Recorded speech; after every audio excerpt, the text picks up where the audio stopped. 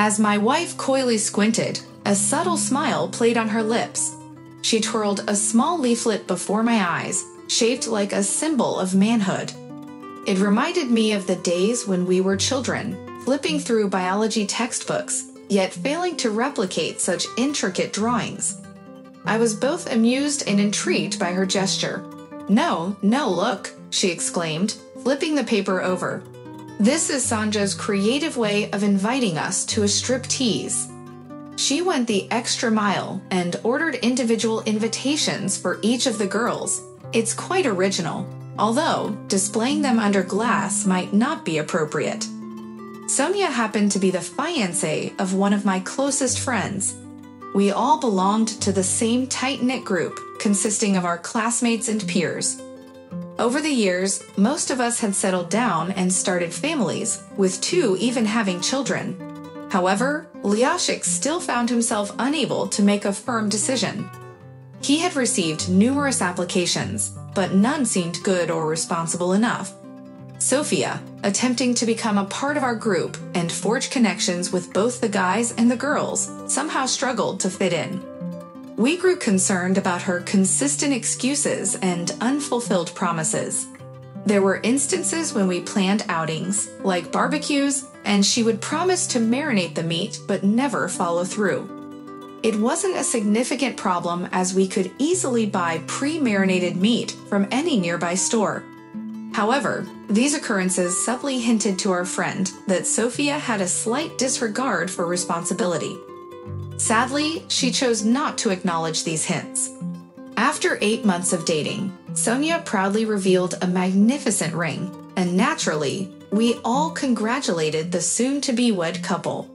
Wedding preparations proceeded as expected. The groom's male friends, particularly those around his age, received invitations to a striptease event.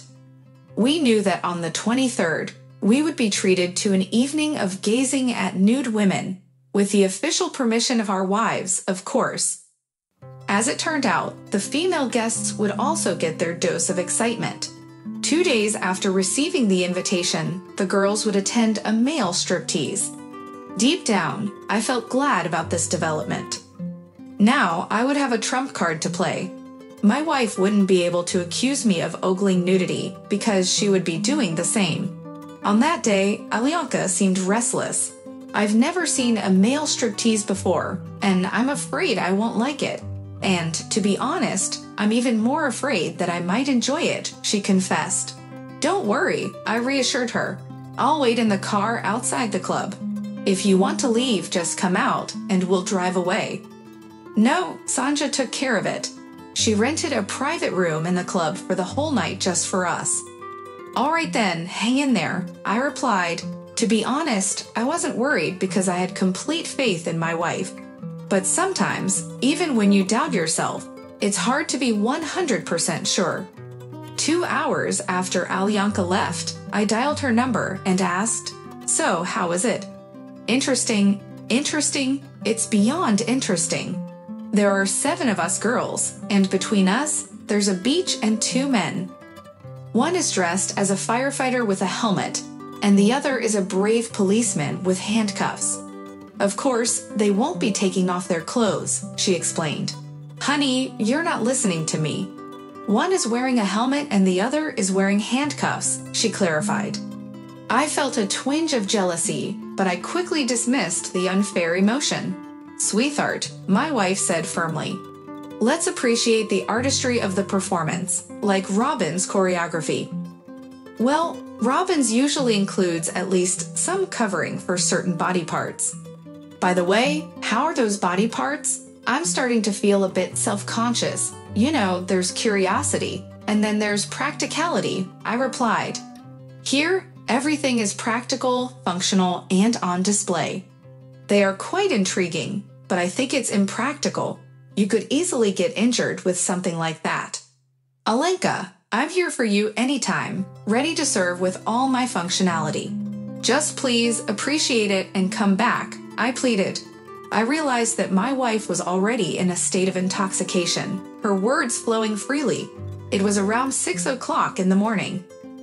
my beloved stumbled into the apartment with the grace of a tipsy elephant. She struggled to remove her shoes, but failed, ultimately collapsing onto the bed with one shoe still on. Within moments, I heard the soft sound of her snoring.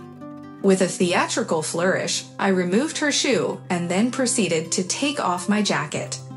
The most challenging part was removing her pantyhose. Finally undressed, I ensured that there was nothing extraneous, tucked her in, and made my way to the kitchen to brew some coffee. Sleep was no longer on my agenda. The coffee machine hissed, but I was interrupted by a notification beep from my phone. It was a set of photos that had arrived, not on her phone, but in our shared Google Drive. Yes, it's not a common practice these days for individuals to share digital spaces, as everyone strives to create their own personal zones to store what's most important and private. However, this was a collection of family memories, akin to a bag of black and white photos from Soviet times. I recalled my wife's earlier words about something curious yet impractical. I couldn't resist my curiosity, so I decided to thoroughly examine the contents. At first, I saw two burly men in overalls, just as my wife had described a policeman and a fireman. With each successive photo, pieces of their clothing disappeared, revealing sculpted muscles, smooth legs, and hairless chests. When they were completely undressed, it became evident that their size was indeed impressive, well above average. It was clear that the depths of an ordinary woman wouldn't be enough for them. Such thoughts occupied my mind as I mechanically flipped through the photos, now holding a cup of coffee, when suddenly something caught my eye that completely shattered my perception of that evening. Sophia was pictured dancing with the firemen, or rather, dancing a bit too intimately for my liking. I didn't want my wife rubbing her legs against the head of a lustful stranger. But that was just the tip of the iceberg. What followed in the subsequent photos was far more explicit a short video that connected all the dots. In the footage, my wife playfully pulled out some bills from her purse and, without counting them, concealed them under the fireman's helmet. Then she removed her pantyhose and climbed on top of the man. It was no longer just a dance, it was something entirely different. I realized that Alenka appeared several times in the video, causing a surge of excitement in me. Hastily, I scanned through all the footage. Another man emerged in the foreground, receiving financial support from Sophia as well. Alenka was seen lying on the couch while policeman was on top of her.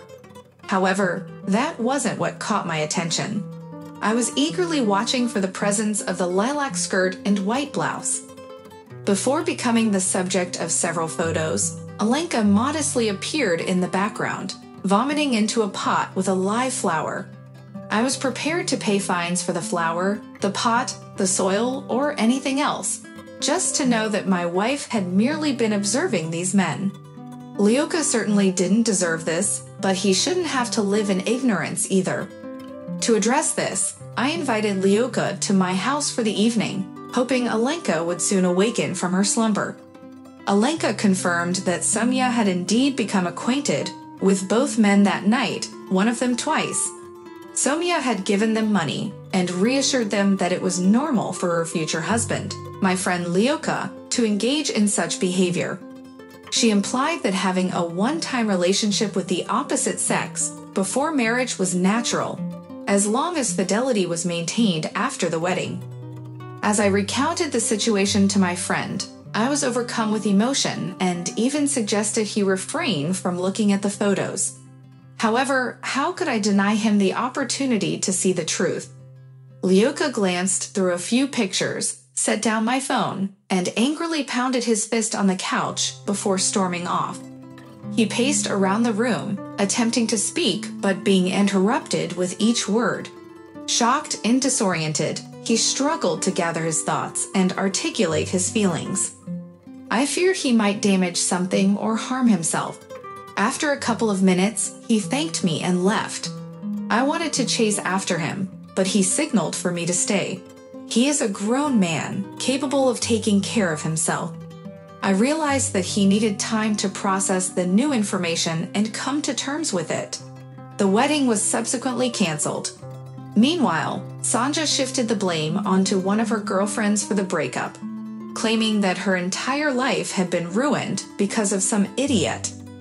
While it is common for five year old children to deflect blame onto others, individuals in their 20s should be capable of recognizing their own mistakes and avoiding such actions. I don't believe the primary culprit was the girl with the camera. She merely served as a catalyst for Liuka, helping him to see the truth. I feel sorry for Liuka being left alone in this situation, but he doesn't need a woman who engages in promiscuity. It's fortunate that these revelations came to light before the wedding took place. Dear friends, thank you for listening to our stories. Subscribe to the channel, put likes, and leave your opinion in the comments. Don't forget to press the bell not to miss new stories, which we try to publish every day. We also remind you that everyone can share unique stories from their life or the lives of friends, which can be sent to us by email, which is specified in the description of the video. Good luck to everyone and be happy.